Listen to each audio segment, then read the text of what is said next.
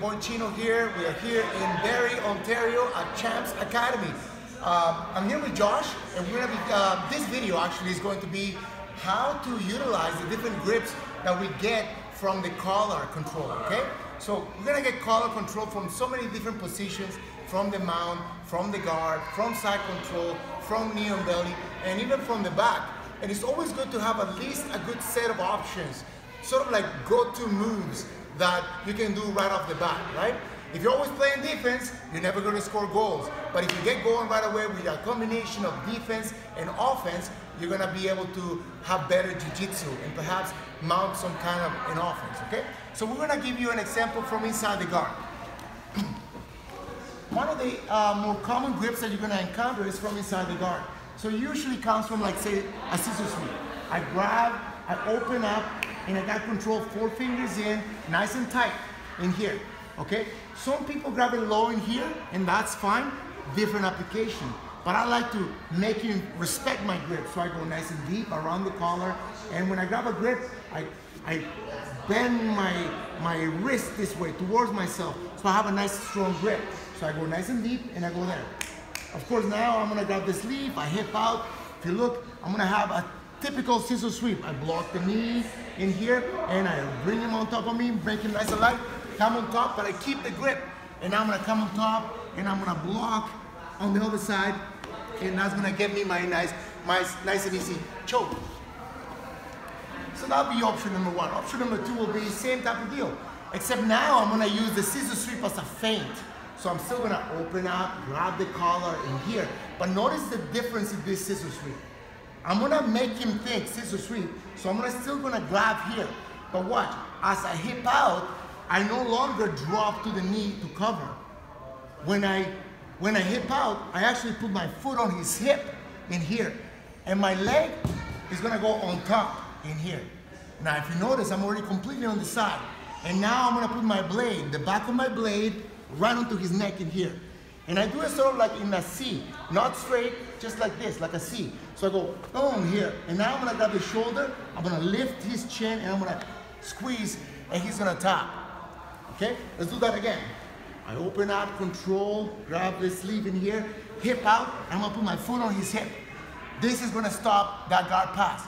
In fact, as soon as I feel him trying to go to combat base, boom, I'm gonna put my leg right on the top, and that gives me a nice lateral control.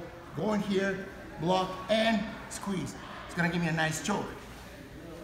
I'm gonna do the same variation, except now, instead of having four fingers in, I'm gonna have one thumb in. So I'm gonna go here, I'm gonna put one thumb in, but every single time I'm gonna go nice and deep, enough that my blade is right ac across his carotid artery, nice and tight. So I'm gonna go here, nice and tight. Same thing, I'm gonna go here, hip out, foot goes to the hip, and I'm gonna go up. This is a lot tighter than the initial grip. Same thing though, I'm gonna go here, block, and squeeze, nice and tight. Was this one tighter than the Oh, other yeah, one? sure. You gotta try just to understand what I'm talking about. This is a tighter grip. Let's do it again. Thumb in, grab.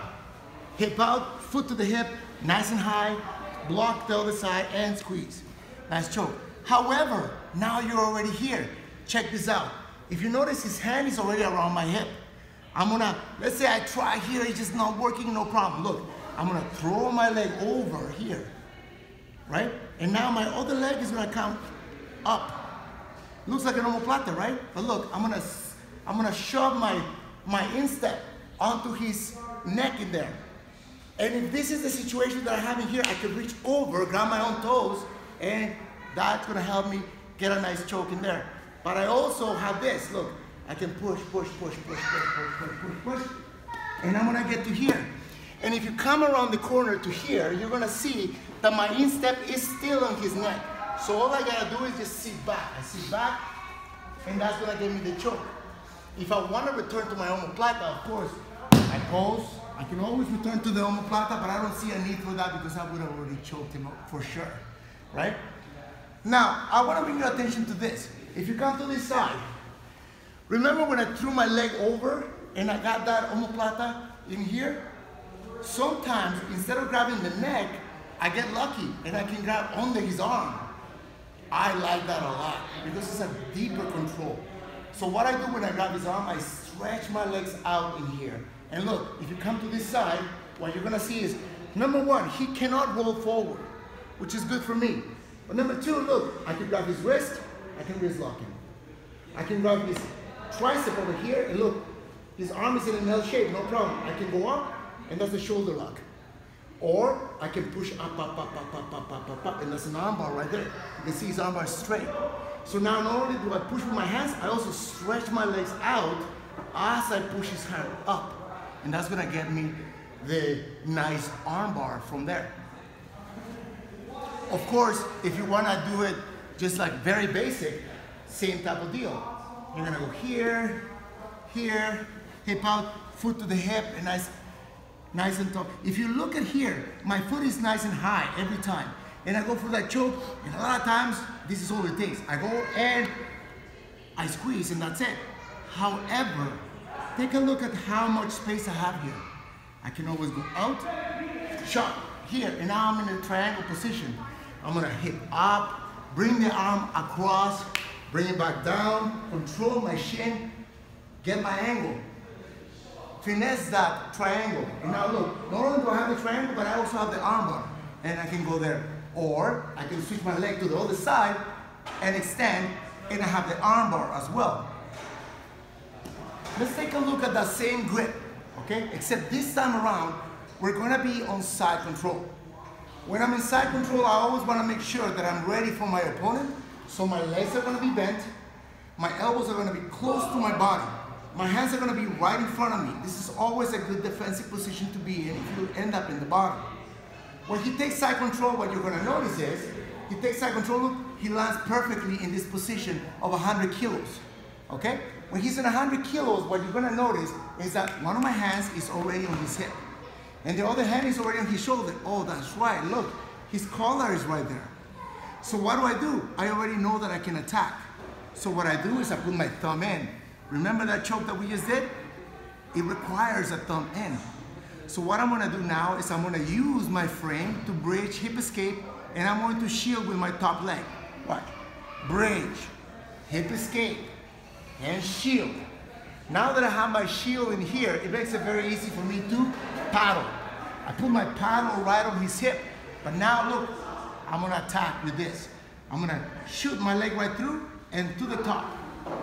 Here, oh look, we're in the same position we were just recently. So I'm gonna do the same here and here, and I can choke. All right, let's do that again. Side control, I'm already on frame. He takes side control with 100 kilos, perfect. I'm gonna go thumb in. I go thumb in, and I'm gonna put my hand on his hip. I'm gonna bridge, hip escape, and I'm gonna shield. And my shield allows me to control the pressure of him coming in and out. No problem, I'm gonna put my foot on his hip. Now, and now I'm gonna go under and up, and I'm gonna go here. Choke again. Of course, I could go to omoplata, no problem, but he's fighting this a lot. Okay, and I feel I may lose him, no problem. Watch what I'm gonna do. I'm gonna focus in controlling this side only. So I let go of this, and I grab with this hand right here. And now I'm gonna go here. My foot drops to his hip, here, and I push him out. And now look, I can take my foot out, chop his head, triangle. And now I can focus on the triangle and the armbar, or like we did before, switch my leg to the other side and I have that again. Let's look at that again. But now we're gonna add a hip hiccup in between. He's on side control, I'm here. I know I can put my thumb in there. Nice strong hook. I'm gonna put my hand on his hip, bridge, hip escape, shield. After the shield comes the paddle. The paddle is right there. So now I'm gonna go here and here. Awesome control. I try, I try, maybe it didn't work, maybe it did. Most of the time for me it works. But always give yourself options. Look, this is the other option. Ah, it didn't work, no problem. I'm gonna focus on this side. So I go here. One hand controls the collar, one hand controls the sleeve. And now my other foot goes to the hip and I center him. I push, push, push, push, push. Obviously from here I go to the triangle. However, this time around, he's going to counterattack. So he grabs my pant leg in here, right? Because he wants to pass my guard. No problem. You can still do it. Look, I can push that away, pull him into me, and I can still get there. The fact that he's grabbing my, my pant leg is irrelevant to me because I can still use my leg to push that arm away. Okay? Now you grab my knee, no problem. Grab my knee, look, I go over, push. No control. You can grab uh, lower on my leg, uh, lower, there you go. And here, to try to control my leg, no problem. Look, I can go underneath and push. No control. And I can go over to my triangle. I can go here, arm bar, or switch my leg over and arm bar again. I want to show you a little bit of a different use for the frame, shield, and paddle, which is an amazing thing that I've uh, incorporated into my game. Check this out. If I'm here, so I control 100 kilos, I'm here, okay? Actually, it's a wrestler spin. Okay, so I'm here, okay? So this is my frame. So watch what I'm going to do. I'm going to bridge, hip escape, shield. But when I get my shield, look, I'm already going on the hook here. Okay? This hand is gonna come and grab the wrist, and this hand is gonna come towards me. So I grab the wrist, this hand comes towards me, but now I pull my knee out. And if you notice, my shin is right at the bend of his elbow, right there. And watch what I'm gonna do. As soon as I do that, I'm gonna put my knee right up. My leg is up because it's going to become a locking mechanism. And so as I have my locking mechanism ready to go, look what I do. I pull this hand towards me. I'm Guatemalan, so I have very bony shins. So when I pull hard, he's not gonna like it. So I pull only to release, shove his head through, here. And now the locking mechanism comes down, here. And now I have a, a triangle from here, I can squeeze my legs, he's gonna tap, or look, I have an armbar here. So I go with my blade back here, I find his elbow, I push it down, and I do a sit-up. And that's gonna be an armbar. Or I can squeeze an armbar, two for one, my friend. It's always better, two for one. So here, and you get him as well. Let's take a look at that again. Okay, so I'm on side control, I have my frame, he's got the wrestler spin, bridge, hip escape, shield, on the hook, hand comes over here, point your shin out. You see how I broke his posture? My locking mechanism comes up right away. So I'm gonna now pull, release, push his head through, one, and lock it.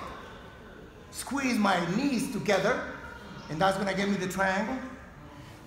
Grab that armbar and do a sit-up, or do both. Squeeze and squeeze. Sit up, and you get both. Two for one, it's always better. As you can see, there are several uses of collar control. Now you can go four fingers in.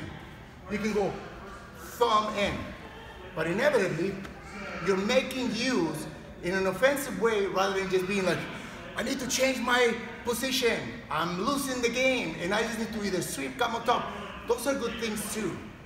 But wouldn't it be better if you're always attacking your opponent and your opponent is always trying to adjust to your movement? They are playing your game, you're not playing their game. However, you should be proficient at their game so that you can always change it around and make them play your game. What I want you to do now is, if there's in a specific area of this video that you want to train, by all means, stop the video right now, go back, and go to that area and drill it a lot. I'm gonna throw a whole bunch of techniques to you guys. I expect you to at least try one. Four fingers in or thumb in. Go try it out from all the positions that I showed you.